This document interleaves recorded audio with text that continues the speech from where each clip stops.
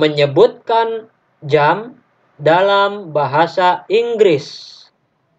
Ketentuan dan cara membaca atau menyebutkan jam dalam bahasa Inggris ada beberapa. Namun, pada kali ini kita mengenali dulu ketentuan dan cara membaca atau menyebutkan jam dalam bahasa Inggris yang jarum panjangnya tidak lebih dari 30 menit.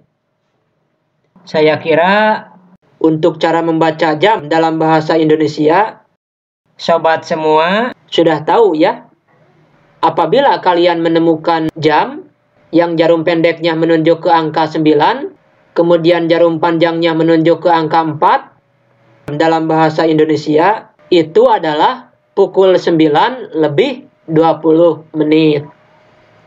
Apabila kalian menemukan jam yang jarum pendeknya menunjuk ke angka 11, kemudian jarum panjangnya menunjuk ke angka 2 titik setelah angka 3, dalam bahasa Indonesia itu adalah pukul 11 lebih 17 menit.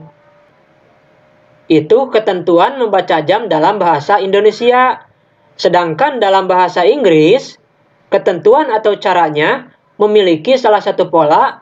Pertama, sebutkan dulu jarum panjangnya. Tambahkan kata pas yang artinya lebih. Kemudian sebutkan jarum pendeknya. Maksudnya bagaimana? Coba perhatikanlah contoh berikut ini. Pukul 9 lebih 20 menit. Bahasa Inggrisnya disebut 20 past 9. Kata 20 adalah terjemahan dari angka 20 yang merupakan jarum panjangnya dalam penyebutan jam ini. Kata pas artinya lebih dan kata nain adalah terjemahan dari angka 9 yang merupakan jarum pendek dalam penyebutan jam ini. Jadi, jam 9 lebih 20 menit dalam bahasa Inggris disebut 20 past 9. Mungkin kalian merasa aneh, kok 20 past 9 diartikan pukul 9 lebih 20 menit?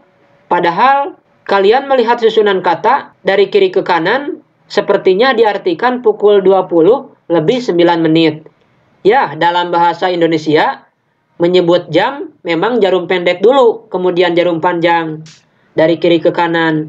Sedangkan dalam bahasa Inggris ada ketentuan menjadi dibalik. Sekali lagi, dalam bahasa Inggris ada ketentuan menjadi dibalik. Dibalik bagaimana? Sebutkan jarum panjang dulu, tambah kata pas yang artinya lebih, kemudian sebutkan jarum pendeknya.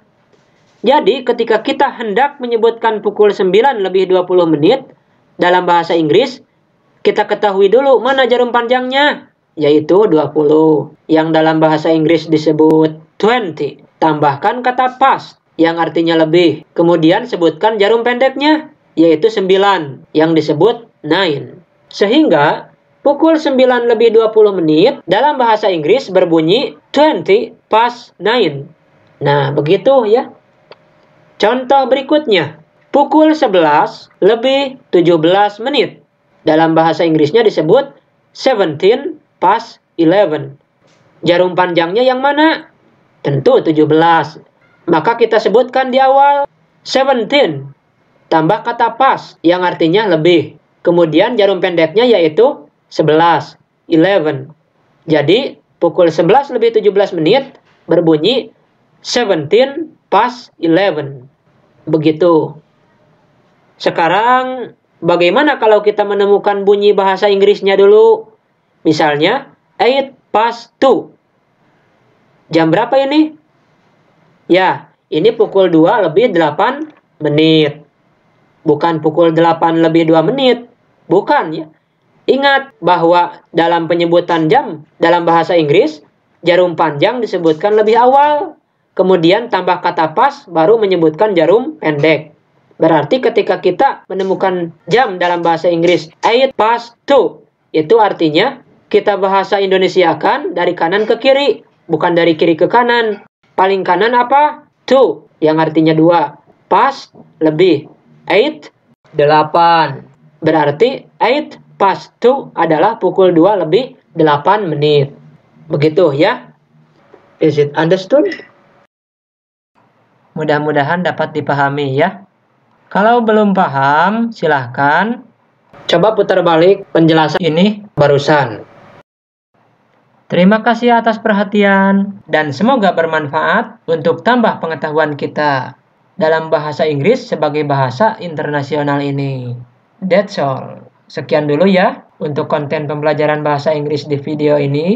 Dan juga silahkan dicek pada video lain di channel Iwan English Share 11 ini. Barangkali bisa bermanfaat buat sobat semua. Dan jangan lupa klik subscribe and like bila Anda suka, serta komen yang baik dan membangun. Serta aktifkan lonceng notifikasi.